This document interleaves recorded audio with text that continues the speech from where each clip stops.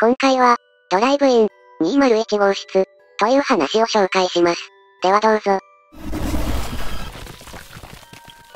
この話はオカルトや階段に入るのかどうなのか、ちょっと微妙なところなのだが、他に書くところもないし、個人的には非常に怖かった体験なので、ここに書きます。それと、もう何ヶ月も前のことなので、会話はうろ覚えの部分が多く、当時こんな感じだった、程度に思いつきで書いています。不自然に思ったり、違和感を覚えたらごめんなさい。去年の夏に友人たちと集まっていた時、なんとなく暇なのでどこかドライブ行かないか？という話になって、大した目的もなく、一般道だけを使って長野まで行くことになった。メンバーは俺、A、B、C の4人。まあ、暇な時集まるのは、大抵このメンツなのだが、目的もなく出発したので当然することもなく、男4人でむさ苦しく適当に観光地で飯を食い、日が暮れてかなり暗くなった頃に帰ることになった。交代で運転しながら長野と群馬の県境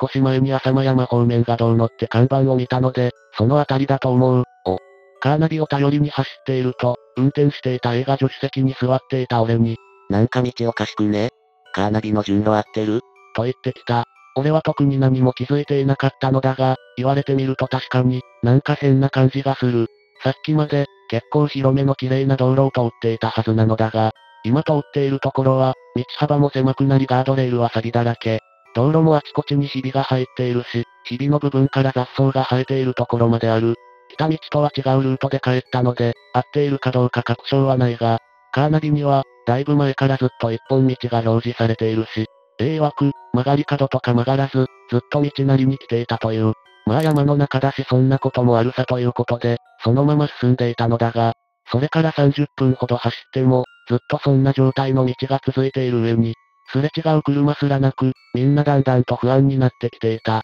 C が、一旦どこかに車止めて、ルート再確認した方が良くないか？と言い出した頃、少し先の方に、ドライブインらしい明かりが見えた。駐車場には数は少ないが、何台か車が停車しているのが見える。それだけでなんとなく、俺たちはほっとした気分になった。これは好都合ということで、そのドライブインの駐車場に車を止めた。どうやらこのドライブインは無人のところらしく、店員とかはいそうにないが、自販機が並んでいるのは、外からでもわかる。おのおのひとまずトイレへ行ったり、飲み物や食べ物を確保することにした。そして A と C はトイレへ向かい、俺と B は自販機コーナーの隣にある休憩所のようなところへ向かった。休憩所の入り口のドアを開けようとした時、俺は入り口の明かりのところに異様なものを見た。手のひらよりもバカでかいガが止まっている。こんな真夏に、でかいガというのも不自然で変なのだが、それよりも異様だったのはそのガの羽の模様だ。ガって目玉みたいな模様があるのはよくあるのだが、そのガの模様は目玉みたいどころか、全体の姿がまるで人の顔のように見える。特に目の部分は丸というより、本物の目のようだ。うわ、気持ち悪。と思った俺と B はなるべくその顔見ないように、避けて中へと入った。後から思うと、この時点で何かがおかしいと、気づくべきだったかもしれない。中に入るとそこはかなり広く、テーブルがいくつも並べてあるのだが、照明はなんか薄暗いし、床や壁も微妙に小汚い。奥の方にゲームもあるのだが、遠目にもそれはどれも古そうに見える。それと端の方にはテレビがあり、50代くらいのおっさんが、こちらに背を向けてテレビを見ている。俺はその人になんか妙な違和感を感じたのと、他にも色々うまく説明できない変な違和感を覚えて、B にそのことを話そうとすると、B がひそひそ声で嬉しそうに。おい、なんかあっちに女の子3人組いるぞ、声かけようぜ。と俺に言ってきた。B に教えられた方を見ると、確かに20歳くらいの女の子3人組が、テーブルを囲んで、椅子に腰掛けているのが見えるのだが、表情を見るとなんか不安そうな感じで、辺りをキョロキョロしながら、話し合っているように見える。すると3人組のうちの1人が、俺と B に気づいたらしく、こちらにやってきた。B はもうなんか、明らかに顔に出るほど嬉しそうなのだが、俺はすごく不安を感じていた。そして、その不安は当然のように当たった。女の子は俺たちの前に来ると、開口一番こう言ってきた。あのー、変に思われるかもしれないんですが、ここって関東方面へ抜ける道で、いいんですよね？それと気のせいかもしれないんですが。と一瞬躊躇した後で。このドライブイン、なんか変じゃないですか？と言ってきた。休憩所に入って以来、ずっと妙な違和感を覚えていた俺は、自分もなんか変だと感じていたことを話して、同じ席で少し事情を聞くことにした。B が小声で。お前結構やるじゃん。とかニヤニヤしながら言ってきたが、状況が状況だけにちょっとムカついて、無視することにした。ぶっちゃけ言うと、俺もちょっとのワクワクがなかったわけじゃないが、それよりも違和感と不安の方が勝っていたからだ。話を聞いてみると、どうやら彼女たちも、俺たちと同じように車を走らせていると、だんだんと道が、整備されていない細い道になっていき、不安になってこのドライブインに一度車を止めて、確認しようということになったらしい。そしてこの休憩所に入ったところ、なんかあちこちに違和感を覚えて怖くなってきて、どうしようかと話していた時に、俺と B がタイミングよく入ってきたので、声をかけたのだという。ちなみに、B はなんかもうまるで空気読まずに、俺に任せて、みたいなことを言っていたが、後から聞くと、内心かなり不安で、その裏返しだったと言っていた。そんな感じでお互い状況を説明し終わった頃、女の子の一人が、それで、あそこのテレビの前にいる人なんだけど、と話を切り出した。そう促されて俺もその人を改めて見たとき、さっきの違和感の正体に気がついた。ちょっと遠くにいたので、パッと見は気づかなかったのだが、テレビとテーブル、そしてその人のサイズの比率が明らかにおかしい。少し遠くにいるにしても、その人は異様にでかすぎるのだ。多分立ったら、U2、3、4メートルはあるんじゃないかというくらいに、でかい。さすがに空気を読んだ B も、でかすぎるよな、なんだあれ。と独り言のように言っている。さらにその女の子は、あと、あの奥のプリクラのところなんだけど、というのでそっちを見てみると、入ってきた時俺たちは気づかなかったのだが、ロングスカートを履いた女の人の足が、年代物っぽいプリクラの周りにある、カーテンの下から見える。その子が言うには、あの女の人は自分たちが来た時からずっと、一人であそこにいて全く動かないんだという。そしてさらに続けてこう言ってきた。あとなんか変な音聞こえませんか？人が話しているような。言われてみれば、入ってきてから何か音が聞こえていたのだけれど、俺はなんとなくエアコンか何かの、機械の作動音だと思っていたのだが、よく聞いてみると、ボソボソと大勢の人が話しているような、そんな声のように聞こえる。どこで話しているのかは全くわからないが、とにかくここは何か変だ。そんな話を5人でしていると、休憩所と自販機コーナーの間にあるドアが開き、A と C が入ってきた。そして俺たちと女の子を見て C が、お前ら何ナンパしてんだよ。と呆れたように言うと、そんなことよりちょっとこっち来てくれ。なんか変なのがあるんだが。と、結構真顔で言ってきた。A もふざけている様子もなく、俺と B が、変なのってなんだよ？と聞くと、うまく説明できないから、とりあえず自販機コーナーに来てくれという。こっちも変なこと山盛りだった俺たちは、A と C に、こっちもなんか変なことだらけだ、と話しながら、女の子たちも連れて自販機コーナーへ行くことにした。自販機コーナーに入ると、A が、これを見てくれ、とカップでコーヒーなどを売っている、自販機を指さした。その自販機、パッと見はよくドライブインとかにあるような、液晶画面がついていて、そこで商品の紹介や CM などを流す、普通の自販機に見えるのだが、普通の自販機とは明らかに違う部分が一つある。液晶画面のところに、明らかに映像ではないどう見ても生身の口があり、それが、いらっしゃいませ。とか、喋って、いる、C が、な、変だろ最初俺たち、人が入っているのかと思ってさ、声かけたり自販機を叩いたりしたんだけど、何の反応もないんだよ。という、それに、と付け足して、この口の周り、唇から外はどう見ても普通の液晶画面に見えねどうなってるんだろ、これ。と言ってきた。明らかにこのドライブインは何かがおかしい。現実離れしているというかなんというか、とりあえず A と C にこちらの事情をすべて話して、一旦外に出ようと話していると、休憩室の方を見ていた女の子が、ちょっとちょっと、あれ、とかなり動揺した声で、俺の肩をゆすりながら休憩室の方を指さした。指さした方を見て、俺も含め全員絶句してしまった。さっきプリクラのところにいた女の人が出てきて、こちらに向かって歩いてきているのだが、その女の人、上半身がない、のだ。厳密には下半身から上の部分が、ロートを逆さにしたように収束していて、上半身というかなんというか、その部分は棒とも紐ともつかないものが、まっすぐ上へ伸びている。それが歩くたびにゆらゆらと揺れながら、こちらへと向かってくる。姿からしてどう見ても人間ではない。俺たちはその異様な姿に、完全に思考が停止してしまい、パニックになって全員外へと逃げ出した。そして外へ出て振り返ると、その、物体、は俺たちを気にすることもなく、そのままトイレの方へと消えていった。一体ここは何なのか、当時の俺たちはあまりのことに思考が追いつかず、ただただ動揺しまくっていた。とにかくここを出よう。そう考えた俺たちは、カーナビ通りならこの先へ進めば、群馬か埼玉の街中へ抜けられることを確認し、女の子たちには、そんなにスピードを出さないから、ついてくれば大丈夫と話していると、突然後ろの方、駐車場の奥の林から、かなりの人数の人影、目測でも50から60人くらいが降りてきて、こちらへと向かってくるのが見えた。さらに、人影以外に、林の方から何かがこちらに向かって、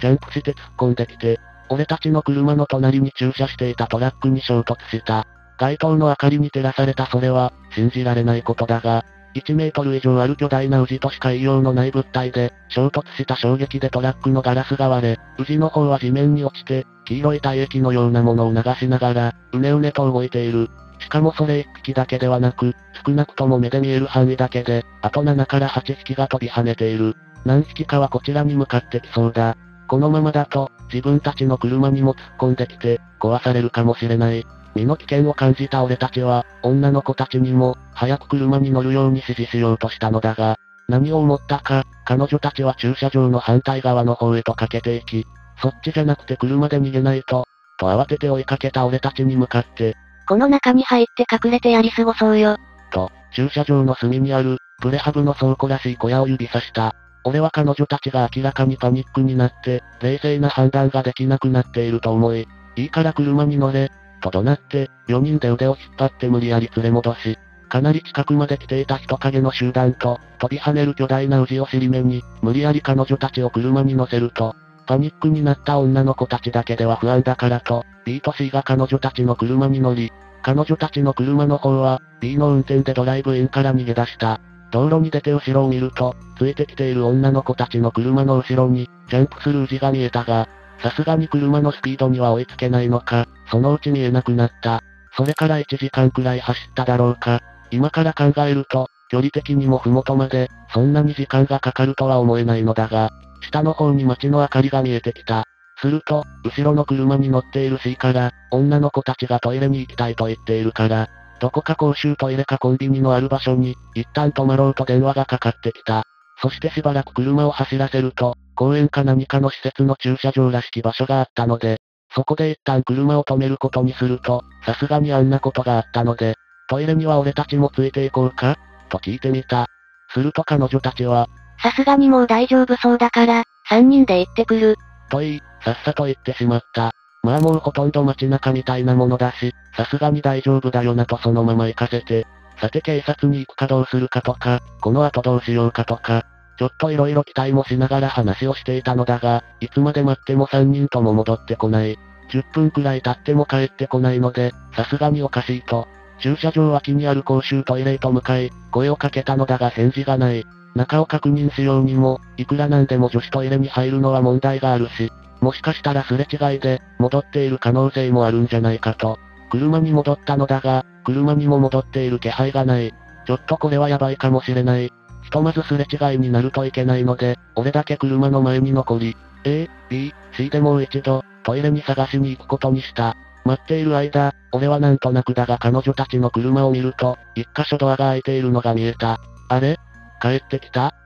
と思い、車内を見たのだが誰もいない。おかしいな。さっきからドア開いていたっけ？となんとなく車内を見ると、座席のところから3人のうち誰かのものらしい、バッグが地面に落ちかかっていて、なんとなく奥に戻そうと手を触れたところ、バッグが地面に落ちて、中身がぶちまけられてしまった。しかも口紅かリップクリームか何からしきものが、コロコロと転がっていってしまっている。これ戻しておかないとやばくね？と、転がっていったものを拾い振り返ると、トイレに向かった A、B、C たちが戻ってきた。A が言うには、さすがにおかしいので、トイレの中に入ってみたのだが誰もおらず、きっとすれ違いになってしまったのだと、戻ってきたのだという。ちょっとシャレにならんことになってしまった、と感じた俺たちは、ドライブインでの出来事を、信じてもらえるかどうか、不安ではあったが、彼女たちのことが心配なので、110番通報することにした。警察が来るまでの間、交代であちこち探しに行ったりもしたのだが、結局見つからず、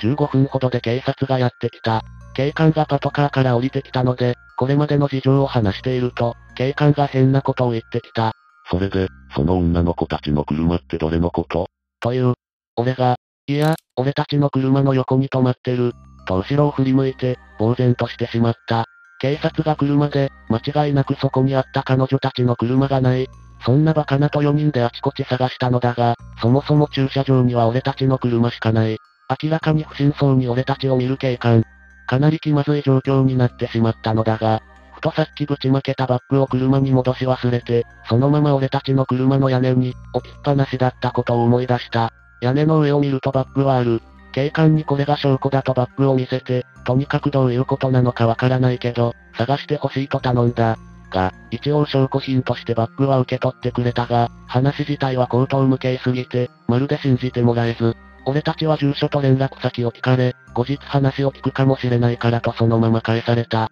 この後、実はちょっと面倒なことになった。俺たちが警官に渡したバッグ、中の手帳と携帯から身元がわかり、もう10年以上前に失踪届の出ていた、団体性のものだったらしく、俺たちは事件に関係があるのではと疑われ、事情聴取を受けた。が、そもそも10年前といえば、俺たちはまだ子供であること。俺たち4人とも進学で都内にやってきただけで、そもそも長野も群馬も地元ですらない上に、当然失踪した短大生とも、何の関係もないことはすぐにわかり、疑いは簡単に晴れた。ただ、バッグの入手先だけはかなり詳しく聞かれた。警官が言うには、俺たちが通ってきた道に証言にあるような、ドライブインなどないのだということで、現場検証も兼ねて、パトカーで来た道を逆に辿ったりもしたのだが、例のドライブインどころか、あまり整備されていない荒れた道、すら、結局見つからなかった。ただ、事情聴取の時に見せられた短大生の写真は、3人組のうち1人で間違いはなかった。バッグのこともあり、警官からはまた話を聞くかもしれないから、と言われたのだが、未だそういう連絡はない。ただ、今思うと、色々と彼女たちには不審な点がある。見た目が失踪当時のままという、一番異様なことはまず置いておくにしても、一つ目は、彼女たちは俺たちと同じルートで、ドライブインに到着したはずなのだが、到着した時間にそれほど時差はないはずなのに、俺たちはあの道で一度も、前方に車のヘッドライトなど見ていない。かなり見晴らしのいい場所も通ったはずなのだが、二つ目は、俺たちが彼女たちに話しかけられた状況だ。あんな異様な状況で、いきなり入ってきた見ず知らずの男二人組に、不安を感じている女の子が、何の警戒もなく話しかけるだろうか？普通警戒しそうなものだが、三つ目は、逃げ出した時の状況。あの時、プレハブ小屋の中でやり過ごそうと、提案したのは、本当にパニックになっていたからなのだろうか？そもそもあんなような状況で、三人が三人とも何の示し合わせもせず、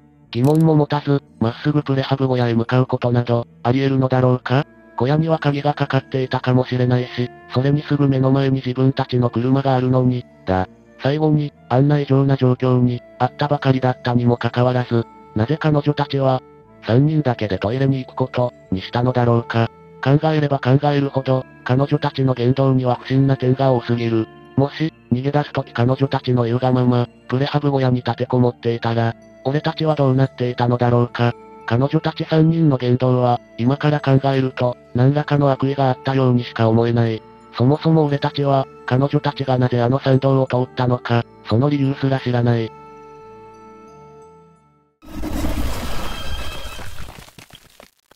登場人物は全て仮名にしておきますよ。去年まで俺が住んでいたアパートは、この字の形をしている。3階建てのエレベーターなしで、204号室を使っていた。自分の玄関からは正面に201号室が見える。201号室は、俺が入居してきた頃にはもう空き室だった。部屋をあまり汚したくないということもあって、俺は夜中によく玄関先でタバコを吸っていた。見つかると嫌な顔をする人もいるんで、玄関先でタバコを吸うのは大抵が夜中だった。その日も夜中の1時頃に一服していたんだが、正面に見える201号室の玄関横の窓に、なんか変なものを見つけた。最初はただの白っぽい汚れだと思っていたんだが、近づいていってよく見ると、子供の大きさくらいの手形のように見えた。多分近所の子供が入り込んで、空き室なのをいいことに、窓を汚していったんだろう。全くやれやれ、と思って、何気なくその汚れを指でなぞると、想像していたような感触が指になかった。その汚れは中から付けられていた。ああ、近所の子供じゃなくて、これは清掃か何かをする人が汚したんだな、と思い直してその日は部屋に帰った。それから数日が経って、手形のことなんかすっかり忘れていたんだが、ある日また同じようにタバコを吸いに玄関先に出て、ふと201号室の方を見た時に、おかしなことに気がついた。手形が大きくなっている。いや、大きくなっているのとはちょっと違う。手を押し付けたまま、力を入れて横にずらしていったような。手形が横に流れるように広がっていた。とんでもない業者がいたもんだなぁ、などと思いながら、思わず見入っていると、203号室の扉が開いて、そこに住んでいる田中さんという男性が顔を出した。あ、まずい、タバコを吸っているのを見られた。後ろを振り向いて、携帯灰皿にぐりぐりとタバコを詰め込み、気まずさから振り返れないでいると、ははは、いやどうぞ気にせずに。という声が後ろから聞こえてきた。すみません、と振り向くと、田中さんはそーっと近寄ってきて小声で、あれ、大きくなっていますよね。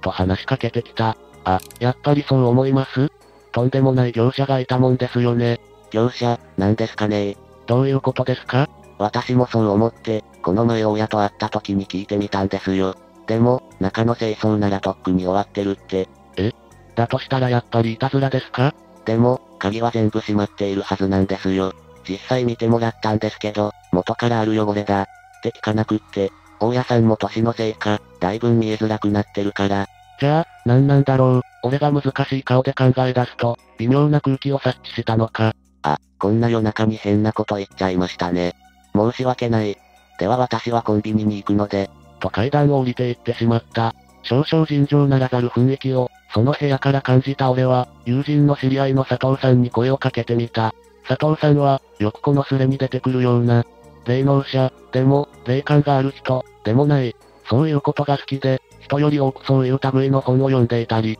人より多くそういう怪しい場所によく行っている、その程度の人だった。身なりも普通だし、性格も穏やか。変に騒ぎ立てるのも恥ずかしい気がするが、誰かには相談したい。だったら佐藤さんかな、と思っただけだった。話を聞いた佐藤さんが、早速見てみたいというので、日曜の夕方に家に連れてきてみた。あんまりまじまじとその手形を見るので、誰かとおったらどうしようと気が気じゃなかった。これ、出ようとしたがっているみたいだよね。この部屋から。出たいあくまで推測だけど。と断ってから佐藤さんは話し出した。何者かがこの部屋から出たがっている。今までは以前ここに住んでいる人が、何らかの処置をしていたから、動くに動けなかったんじゃあるまいか。前の住人がこの部屋から出ていくときに、その処置もある程度は残していっただろうから、そいつは今でも自由には動けない。でも、何かの弾みで、この窓のところにだけ、隙ができてしまったんだと思う。なぜその前の住人がそれを閉じ込めたがったのか。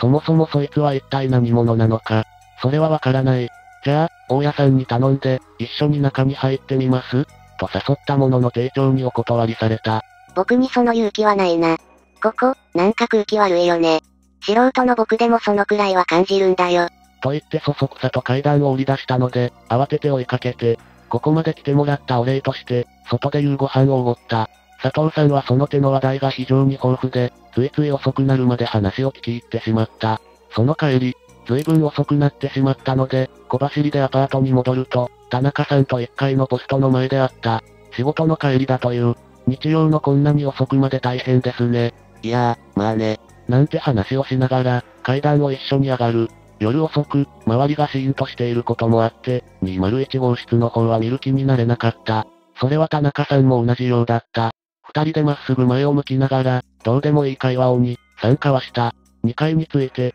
じゃあ、あ、はい、と言って別れる。ポケットから鍵を出して、ドアを開けようとしたが、夕方の佐藤さんの話がどうしても気になる。ちょっとだけなら見てもいいかな、などと思いゆっくり振り返ると、先に田中さんの横顔が目に入った。田中さんは大きく目を見開いて固まったまま、一点を凝視していた。視線はおそらく201号室だ。恐る恐る201号室の方に顔を向ける。何かがおかしい。開いてる。はい。窓、開いてる。窓に視線を移すと、確かに開いていた。俺と田中さんが目を離せなかったのは、それだけではない。何かが出てこようとしていたからだった。それは、当初想像していたような、人の形をしたものではなかった。黒くて、小さくて、ぬるんとしていて、例えるなら爬虫類のようなものだった。そいつがずるずると、窓の隙間から這い出てこようとしている。まずい。こいつに見つかったらまずい。本能的に感じた。慌ててポケットの中の鍵を探る。田中さんはもうすでに、鍵を鍵穴に差し込まんとしているところだった。引っかかって、なかなかポケットの中から出てこない。思い切って手を引っ張ると、その弾みで鍵は手から離れて、柵を越えて下に落ちていってしまった。下に行くには階段を降りなくてはならない。そのためには201号室の方に向かう必要があった。俺にはその勇気はない。という音に振り返ると、そいつはもう窓から出てしまっていた。どうしようもなくなり、その場にへたり込んだ。田中さんが鍵を開け、扉を開いて中に入ろうとしたまさにその時、今まで、非常にゆっくりと動いていたように見えたそいつが、ものすごい勢いで血を這うと、扉が閉まる寸前に、田中さんの部屋にスルリと入っていった。田中さんからは死角だったんだろう。そのまま、